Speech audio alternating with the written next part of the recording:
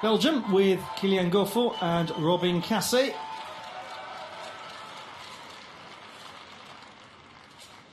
And these were the highest qualifiers a 56.74.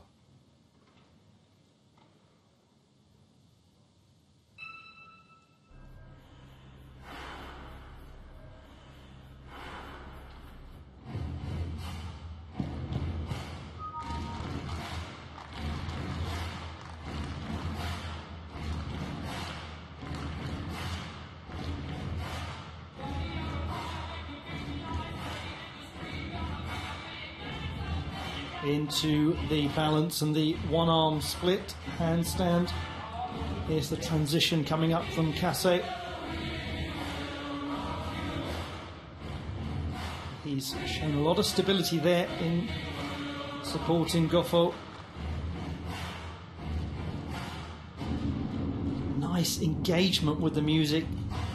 Those changes in tempo. It's very sharp choreography.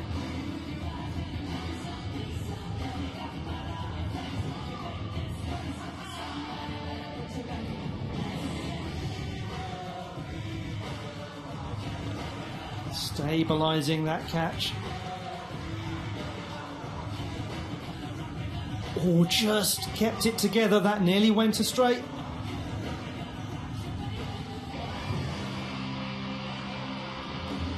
Difficult sequence there for the Belgians to get through.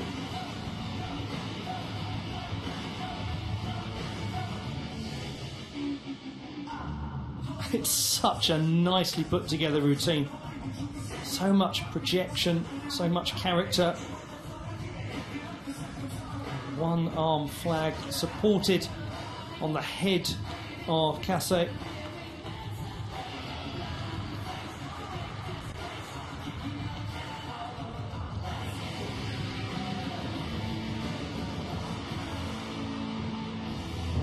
Very synchronized.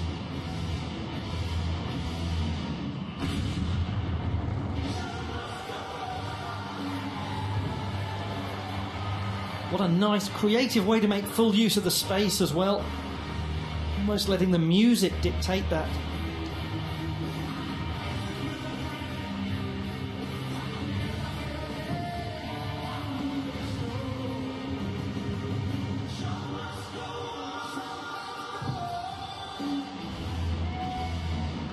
That was so much fun. Incredibly captivating displays from both Kilian Goffaux and Robin Casse. The highest qualifiers. Will they be sitting at the top of the pile once the rest have performed? People's Republic of China 28.35. Gymnastics competition here. Silver yesterday already in the women's pair competition. Robin Casse's older brother Vincent was a silver medalist in this event at the World Championships of 2016.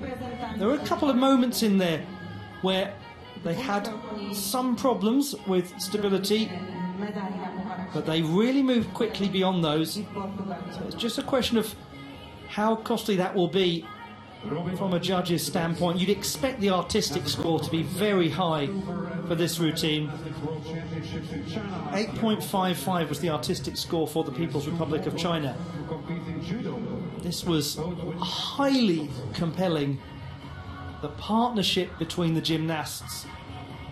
In the artistic mark, the judges look at partnership, expression, performance, creativity, and musicality. Now, that seemed to have everything. Tick all the boxes, didn't it? So, it was a routine that rocked the audience, but will it rock the judges?